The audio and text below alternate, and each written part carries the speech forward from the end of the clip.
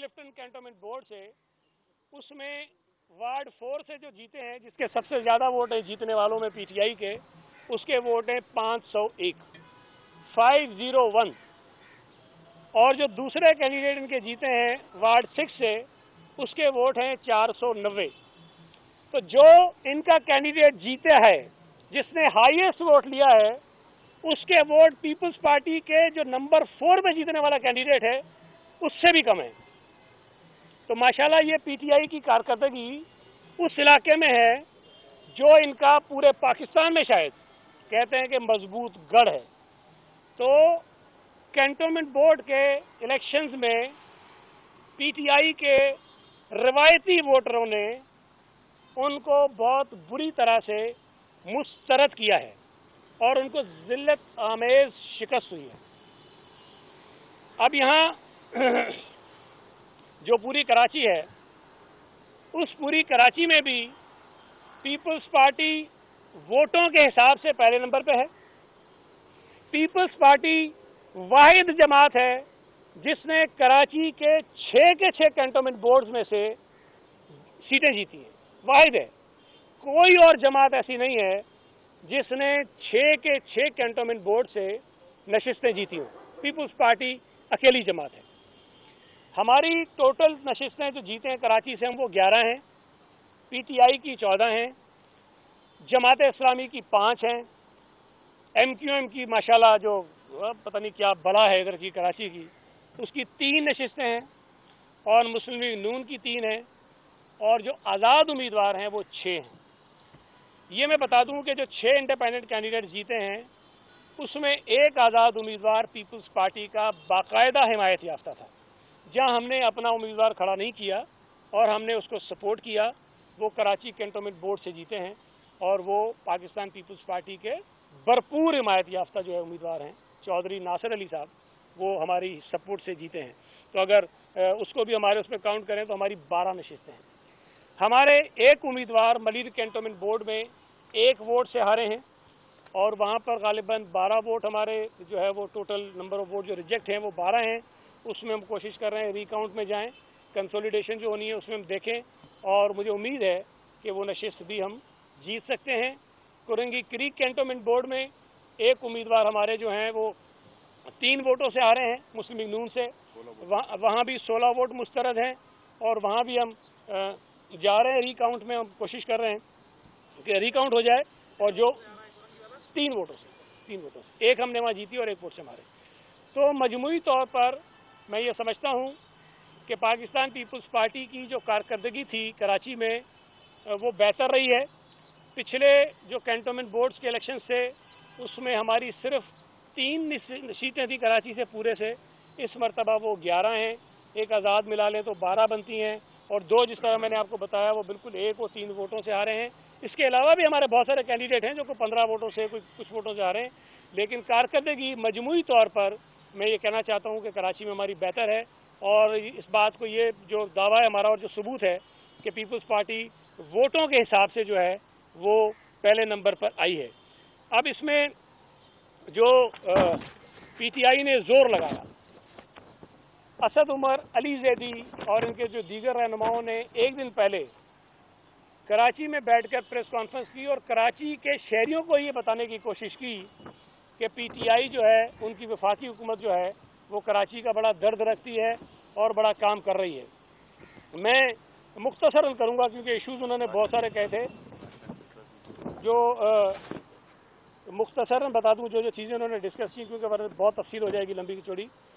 उन्होंने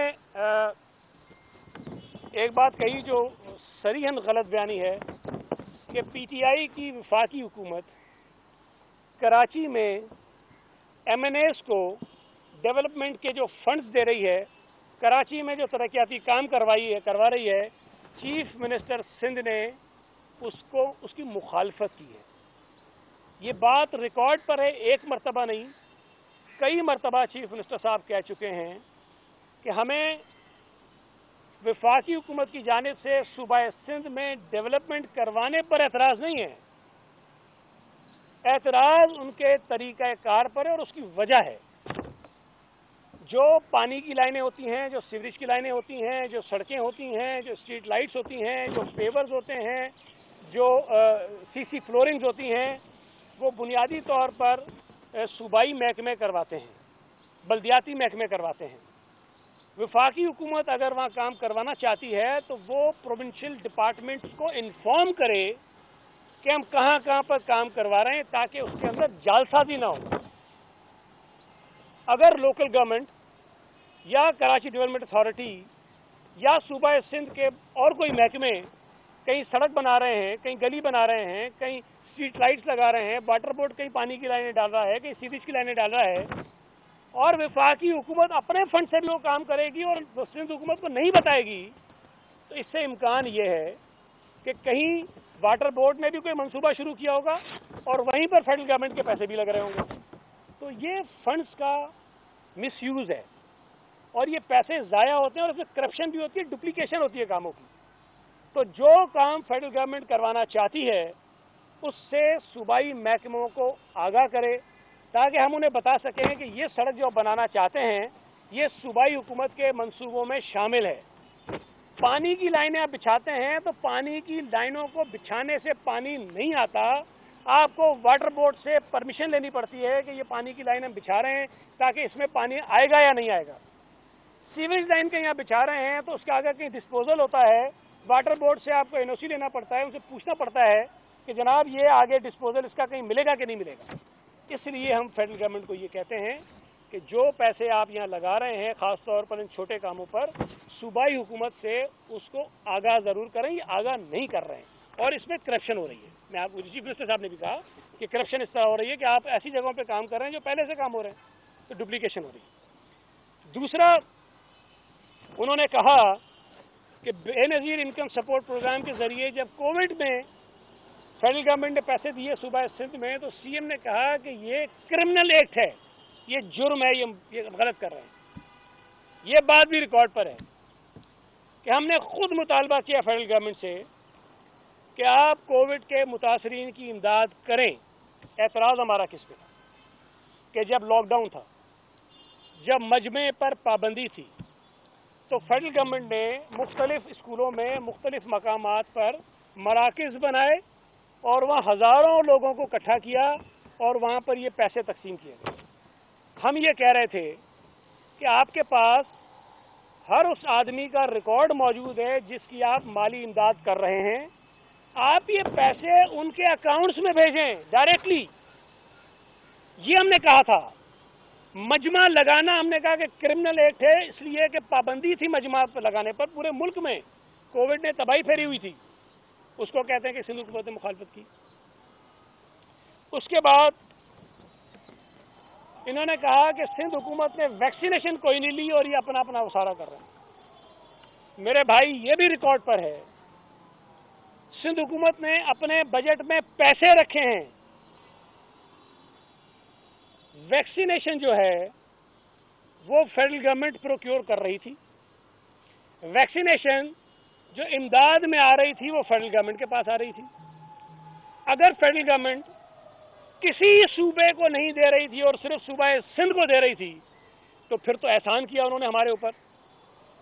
लेकिन अगर हर सूबे को उसके हिस्से के मुताबिक फेडरल गवर्नमेंट ने वैक्सीनेशन दी है तो सूबा सिंध के लोगों पर उसको एहसान करके देने वाली बात जो है, ये नामुनासिब है। ये सूबा सिंध के लोगों का हक है कि अगर कोई चीज़ फेडरल गवर्नमेंट हर सूबे को दे रही है तो सूबा सिंध का जो हिस्सा बनता है, जो शहर बनता है, वो उन्होंने दिया, वो हुआ। हमने ये ज़रूर कहा कि भाई जो प्रोक्योरमेंट आप कर रहे हैं, हमें बता दें कि किस कीमत पर, किस वैक्सीन की प्रोक्योरमेंट आप कर रहे हैं, ताकि हम भी उसी कीमत पर प्रोक्योरमेंट करें। अगर तो सिंध हुकूमत खुद से प्रोक्योरमेंट करती है और उसके वो रेट हमारे इल्म में नहीं हैं, जो फेडरल गवर्नमेंट ने खरीदी हैं तो फिर वो नैब और फिर दीगर इदारे जो हैं वो पीछे पड़ेंगे। और यहाँ एक मसला बनेगा इशू बनेगा। ऑफिसर्स भी डर रहे थे, वो काम नहीं कर रहे थे, इसलिए हमने उनको कहा। अब अगर वो हमें रेट बताने को भी तैयार नहीं थे कि किस पैसे, कीमत पर उन्होंने प्रोक्योरमेंट किया है तो हम इसमें क्या कर सकते हैं? तो मैं समझता हूँ कि असद उमर साहब गलत बयानी ना करें। जो बात चीफ मिनिस्टर साहब ने कही है, उस बात को उसी अंदाज में बताएँ। और ग्रीन लाइन का वो फिर उन्होंने कहा कि हम इफ्ता करने जा रहे हैं। मैं फिर कह रहा हूँ बार बार मैंने कहा है कि फेडरल गवर्नमेंट पिछले तीन वर्षों में कराची के लिए कोई एक नया बड़ा मंसूबा बता दें, जो उन्होंने शुरू किया और मुकम्मल किया। ग्रीन लाइन जिसकी ये बात करते हैं, ये नवाज़ शरीफ साहब के दौर में शुरू हुआ। फायर ब्रिगेड जो इन्होंने तकसीम किए, जो केएमसी को दिए, वो नवाज़ शरीफ साहब के दौर का मंसूबा था। उसका क्रेडिट ये ले रहे हैं लेते रहे। लेकिन हकीकत ये है कि ये पीटीआई की मौजूदा नालायक और नायल हुकूमत का मंसूबा दोनों नहीं है। लेकिन तीन साल तीन साल जो हैं, वो पीटीआई की हुकूमत को हो गए हैं। और नवाज़ शरीफ के दौर में शुरू होने वाली ग्रीन लाइन अभी भी जो है वो मुकम्मल नहीं हो सकी है। इनको बिठा दें एक बार। और इसके साथ इन्होंने जो मर्दमशुमारी है, उस पर भी ये कहा और मुझे समझ नहीं आती। मतलब झूठ भी इतनी ढटाई से बोलते हैं। कि पता नहीं ये हिम्मत पीटीआई के लोगों में ही हो सकती है। ये कहते हैं कि जो जो सेंसस हुआ है सिंध में, वो तो सूबाई हुकूमत ने करवाया अब कोई मुझे समझाए, सेंसस सूबाई हुकूमत कैसे करवा सकती है? वो भाई, सेंसस विफाकी हुकूमत ने कराया था, फौज के साथ मिलकर कराया था। हमने सेंसस शुरू होने से पहले खत लिखे थे। हमने ये कहा कि जो लोग आपके मुतन हैं, जो मुख्तलिफ़ इलाकों में जाएँगे और मरदमशुमारी का डेटा कलेक्ट करेंगे, जो ये असिस्टेंट कमिश्नर्स के ऑफ़िस में रखते थे सिर्फ़, हमने ये कहा था कि ऑफिशियली उसकी एक कॉपी असिस्टेंट कमिश्नर्स को आप दें। उन्होंने नहीं दी, इनकार कर दिया था। सूबाई हुकूमत की किसी किस्म की मदाखलत या किरदार मरदमशुमारी में नहीं था। हम पहले दिन से मरदमशुमारी शुरू होने से पहले ये कह रहे थे कि जो तरीक़ेकार आपने अडॉप्ट किया है, वो दुरुस्त नहीं है। इसमें खामियाँ हैं। इसमें हमें हमें इस पर तशवीश है। हमारी बात नहीं मानी। जब मरदमशुमारी हो गई, हमने उस पर मुस्तकिल एतराज़ा किए। पाकिस्तान पीपल्स पार्टी सिंध की वो वाहिद जमात है, जो आखिर तक मरदमशुमारी की मुखालफत करती रही। एम क्यू एम ने मुखालफत की किसी सतह पर, लेकिन बाद में जब कमेटी बनी, वहाँ पर अप्रूवल दिया, फिर उसके बाद काउंसिल ऑफ़ कॉमर इंटरेस्ट में जब अप्रूवल हुआ तो एम क्यू एम की कोई आवाज़ हमें नहीं आई। उस पर भी जो एतराज़ हुआ, वो पीपल्स पार्टी की जानब से हुआ, और आज भी पाकिस्तान पीपल्स पार्टी अपना आइनी हक इस्तेमाल करते हुए सिंध हुकूमत जो है, उसने पार्लियामेंट के ज्वाइंट सेशन में काउंसिल ऑफ़ कॉमन इंटरेस्ट के इस फैसले को लेकर जाने की बात की है। तो पीपल्स पार्टी सिंध हुकूमत सिंध के लोगों की नुमाइंदगी करते हुए मुतनाज़ मरदमशुमारी जिसको सबने तस्लीम कर लिया है, पीटीआई ने तस्लीम कर लिया है, उस पर अपना एक आइनी किरदार है, वो अदा कर रही है।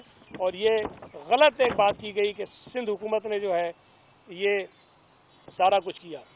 उन्होंने कहा, उनसे सवाल पूछा गया था कि वज़ीर आज़म ने सिर्फ़ कराची के लिए क्यों पैकेज किया? तो उन्होंने कहा, नहीं, सिंध के और ज़िलों के लिए भी पैकेजेस किए हैं। बहुत अच्छी बात है। लेकिन आप तमाम लोग बैठे हैं, मुझे बता दें कि जिस तरह कराची में ऐलानात हुए हैं और हुआ कुछ नहीं, इसी तरह सिंध के दीगर डिस्ट्रिक्ट्स में भी पीटीआई ने अपने हर ऐलान की तरह सिर्फ़ ऐलान ही किया है। किसी डिस्ट्रिक्ट में कोई मंसूबा मुझे एक बता दें जो पीटीआई की इस विफाकी हुकूमत ने शुरू किया हो या मुकम्मल किया कोई एक मंसूबा बिल्कुल भी नहीं है। तो इन्होंने बहुत ही गलत बयानी करके कोशिश की कि इंतबात पर असरअंदाज हों और अल्लाह का शुक्र है, कराची के लोगों ने उनके दावे, उनके ऐलान को मुस्तरद किया और उस पर कोई फ़र्क नहीं पड़ा। मैं दो बातें करता हूँ, उसके बाद सवाल ले लूँगा आपसे। इस हुकूमत के दौर में जो महँगाई हुई है, वो तारीखी है। जो बेरोज़गारी हुई है, वो तारीखी है। ऐलानात इन्होंने किया था कि हम रोज़गार देंगे। इनके दौर में बेरोज़गारी बढ़ी है, लोगों को मुलाजमतों से निकाला गया है। इनके दौर में चीनी का स्कैंडल, गंदुम का स्कैंडल, पेट्रोल का स्कैंडल, एलएनजी का स्कैंडल, दवाओं का स्कैंडल, इतने बड़े बड़े स्कैंडल हैं। अगर इनकी साफ़ और शफाफ तहकीकात हो जाए, जो कमीशन इन्होंने खुद बनाए थे वज़ीर आज़म ने, अगर उनकी रिपोर्ट्स पर जो है कार्रवाई हो जाए तो ये असद उमर तो हफीज शेख तो बुजदार तो इमरान खान, ये सारे के सारे जेल में पड़े हुए लेकिन उनसे जो है, वो नहीं पूछा जा रहा इस हुकूमत ने जो इलेक्शन कमीशन के खिलाफ एक बाकायदा कंपेन शुरू कर दिया है महाज शुरू कर दिया है, सिर्फ़ इसलिए कि इलेक्शन कमीशन इनकी ईमा पर, इनकी ख्वाहिश पर, वो जो जालसाजी की इलेक्ट्रॉनिक वोटिंग मशीन्स बनाई गई हैं, उस पर अमल करने को तैयार नहीं है, उसको इस्तेमाल करने को तैयार नहीं है। तो जब इंतबात में किसी किस्म के रिफॉर्म्स की बात आप करते हैं तो उसमें तमाम स्टेक होल्डर्स का एतमाद होना ज़रूरी है। और इलेक्शन में सबसे बड़ी स्टेक होल्डर जो हैं वो सियासी जमातें हैं। और यहाँ कोई एक सियासी जमात पीटीआई के अलावा इस जालसाजी के अमल को सपोर्ट नहीं कर रही। तो अगर तो पीटीआई अपनी मर्ज़ी के मुताबिक इंतबात के निज़ाम को बनाना चाहती है, इलेक्शन कमीशन को दबाकर तो वह एक अलग बात है। लेकिन इंतबात किसी भी सियासी जमात की ज़िंदगी और मौत का मसला होते हैं। मैं ये समझता हूँ, मुझे उम्मीद है कि कोई भी सियासी जमात जो इस वक्त हुकूमत का हिस्सा नहीं है, वो पीटीआई की इस धांधली के मंसूबे को कामयाब नहीं होने देंगे। हम इलेक्शन कमीशन के साथ खड़े हैं, इसलिए कि इलेक्शन कमीशन का जो मौक़ है, वो उसूली मौक़ है, और जो इलेक्शन कमीशन की बुनियादी ज़िम्मेदारी है कि इलेक्शन साफ़ और शफाफ हों, उसको यकीनी बनाने के लिए उनको ये स्टैंड लेना चाहिए। दूसरी बात, आखिरी कह रहा हूँ, उसके बाद सवाल ले लूँगा पाकिस्तान मीडिया डेवलपमेंट अथॉरिटी, एक और वारदात डाल रही है पीटीआई की हुकूमत। जो इनका मंसूबा है कि अगले इलेक्शन से पहले अदलिया का गला घोंटो, अदलिया को अपने काबू में करो। जो आज़ाद मंच जजेस हैं, उनके खिलाफ साजिशें करो, वो कर रहे हैं।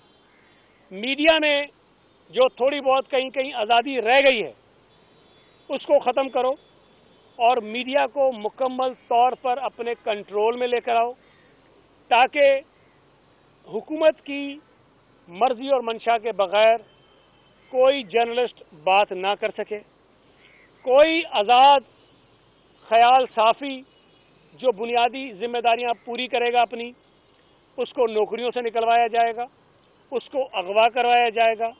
उसको जेलों में डाला जाएगा, उसकी ज़िंदगी तंग की जाएगी, ताकि वो अपनी इजार राय की आज़ादी है, जो हक है उसका, उसको इस्तेमाल ना कर सके।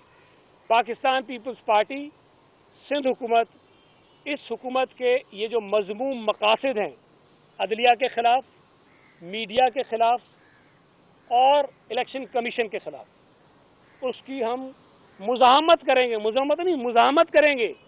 हम इनके के राय देने के और इजहार राय के हक को महफूज और मुकदम समझा जाएगा। आप बहादुर हैं। आपने गोलियाँ खाई हैं। आपने अगवाकारियाँ भुगती हैं। आपने नौकरियों से निकाले जाने से मुआशी कत्ल भुगता है।